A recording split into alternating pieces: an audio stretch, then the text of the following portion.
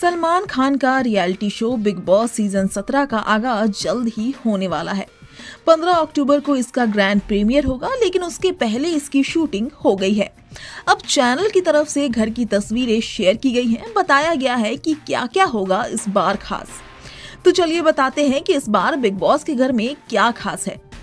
Big boss सत्रह का garden area हर साल की तरह ही नज़र आ रहा है। वही कोने में स्विमिंग पूल और बीच में एंट्री गेट बिग बॉस सत्रह में जुमेरिया भी उसी कोने में बनाया गया है, जहाँ पर पिछले सीज़न में दिखाए गए थे, और इसमें भी कुछ कलाकारी नहीं की गई है।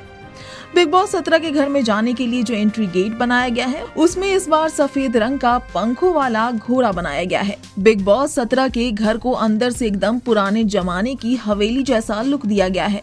बिग बॉस सत्रह का लिविंग एरिया भी उसी जगह पर क्रिएट किया गया है। बिग बॉस सत्रह के किचन एरिया में इस बार राशन घर वालों को पहले कमाना पड़ेगा। इस बार घर में दिल दिमाग और दम का कॉम्बिनेशन देखने को मिलेगा।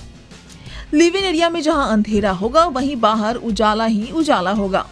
कुल मिलाकर घर वालों की मुश्किलें बहुत बढ़ने वाली हैं। हर बार जिस हिस्से में सबसे ज़्यादा चीखम चिल्ली होती है, उस किचन एरिया को काफ़ी कम स्पेस दिया गया है। घर में फूलों से सजे इस सेज में सिर चकरा जाएगा। देखने में जितना अच्छा है, उतना ही मुश्किल भरा भी होगा।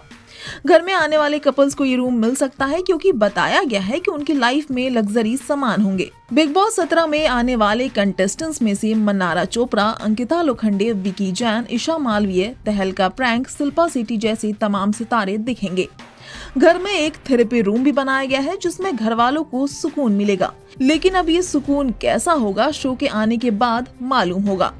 घर का नज़ारा दिखाते हुए वीडियो में बताया गया है कि इस बार घर में शतरंज की बिसात पर घर वाले होंगे। घर में एक आर्काइव रूम होगा, जहाँ से बिग बॉस घर वालों की टेंशन बढ़ाएँगे। घर का ये हिस्सा भले ही उतना चकाचौंध से भरा नहीं है, लेकिन रूम बहुत सारी पावर से भरा होगा। लाल रंग का ये सिंगल सीट सोफा बेहद खास होगा, क्योंकि ये आर्काइव रूम के किसी पावरफुल कंटेस्टेंट के हक में होगा, जो शायद फैसला सुनाएगा। इस बार घर में कैप्टन रूम भी तैयार किया गया है, जो महाराजा बेड पर आराम फरमाएगा। घर में हर बार की तरह कई सीटिंग कॉर्नर बनाए गए हैं, जो कि बेहद अट्रैक्टिव है। कैमरे से भरा ये washroom area OTT season two की याद दिलाता है। गार्डन एरिया का वो हिस्सा जहाँ कंटेस्टेंट अपना अधिकतर समय बिताते हैं, उसे अब कुर्सी और मेज से कुछ यूँ सजा दिया गया है। ब्यूरो रिपोर्ट्स न भारत टाइम्स।